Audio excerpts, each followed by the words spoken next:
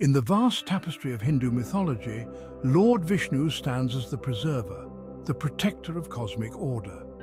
He is one of the principal deities in the Hindu trinity, alongside Brahma the creator and Shiva the destroyer. Central to Vishnu's role are his avatars, divine incarnations that restore balance and righteousness. The first avatar of Vishnu, Matsya, emerges from the primordial waters as a giant fish. This story, recounted in the ancient scriptures known as the Puranas, speaks of a time when the world was submerged in a catastrophic flood. The deluge threatened to wipe out all life and even wash away the sacred Vedas, the ancient Hindu scriptures. To save creation from annihilation, Vishnu took the form of Matsya. Matsya warned the pious king Satyavrata, a devotee of Vishnu, about the impending flood and instructed him to gather the seeds of all living creatures and the Vedas. As the waters rose, Matsya guided Satyavrata's boat to safety, ensuring the continuation of life and knowledge.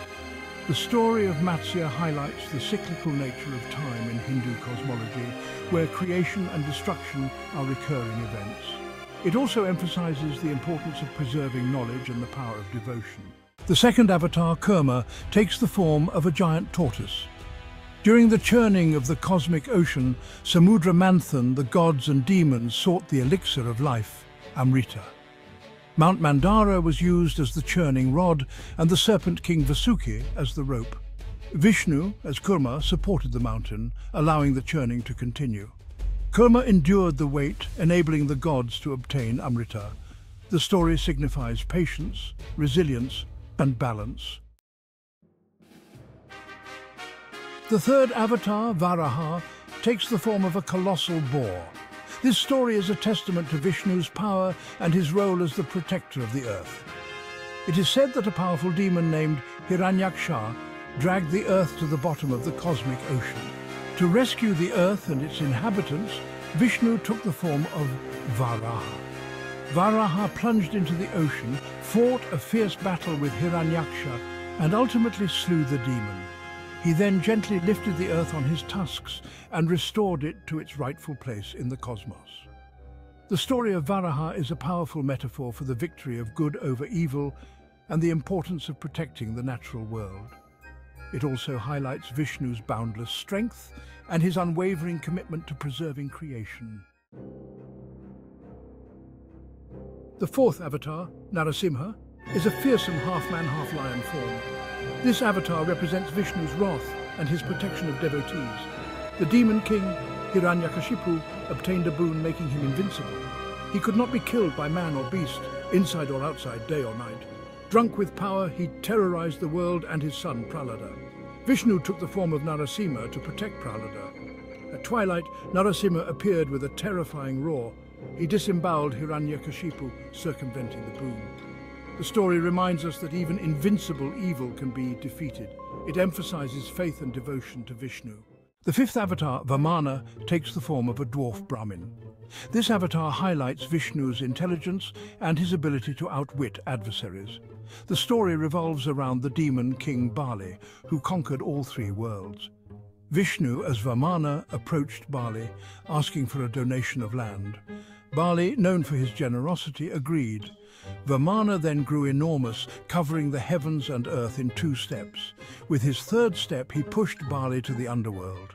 This story showcases Vishnu's cunning and the restoration of cosmic order. The sixth avatar, Parashurama, is a fierce warrior sage, known for his mastery of the axe. This avatar represents Vishnu's role in eliminating tyranny and restoring righteousness even if it requires resorting to violence. The story of Parashurama is set in a time when the Kshatriya kings, the warrior caste, had become arrogant and oppressive, exploiting their power and neglecting their duties. To restore balance, Vishnu took the form of Parashurama, who was born into a Brahmin family but possessed exceptional martial skills. Parashurama waged a relentless war against the tyrannical kings, ridding the earth of their wickedness 21 times. He then donated the land he had conquered to the Brahmins, signifying the restoration of Dharma, the cosmic order. The story of Parashurama highlights the cyclical nature of history, where power corrupts and intervention becomes necessary to restore balance. It also raises complex questions about violence, duty and the responsibility of power. The seventh avatar, Rama, is the protagonist of the epic Ramayana, one of the most beloved and influential texts in Hinduism. Rama is considered the embodiment of Dharma, the ideal man and the perfect king. The Ramayana narrates the life and adventures of Rama, the prince of Ayodhya, who is unjustly exiled from his kingdom. Accompanied by his devoted wife Sita and his loyal brother Lakshmana, Rama faces numerous trials and tribulations. Rama's story is a testament to his unwavering adherence to Dharma, his courage, compassion and his sense of justice. He ultimately defeats the demon king Ravana, who had abducted Sita, and returns to Ayodhya to rule as a wise and benevolent king. The story of Rama has had a profound impact on Indian culture and spirituality, inspiring generations with its timeless themes of love, duty, sacrifice, and the triumph of good over evil. The eighth avatar, Krishna, is a complex and multifaceted deity, revered as a divine statesman, a playful trickster, a compassionate teacher, and a supreme being in his own right. He plays a pivotal role in the epic Mahabharata, another cornerstone of Hindu literature. Krishna is born into a world riddled with conflict and injustice. He uses his intelligence, charisma and divine powers to guide the Pandava princes in their struggle against their cousins, the Kauravas, culminating in the epic battle of Kurukshetra.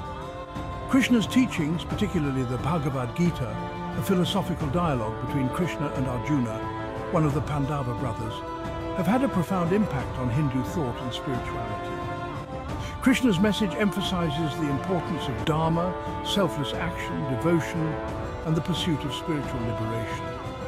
The story of Krishna is a tapestry of wisdom, action and devotion, offering profound insights into human nature, the complexities of life, and the path to spiritual enlightenment.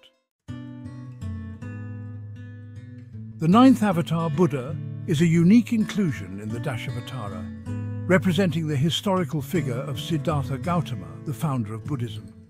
This inclusion reflects the syncretic nature of Hinduism, its ability to accommodate diverse beliefs and philosophies.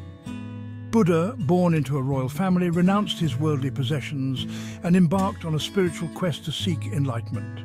He attained enlightenment through meditation and self-realization, becoming the Buddha, the awakened one.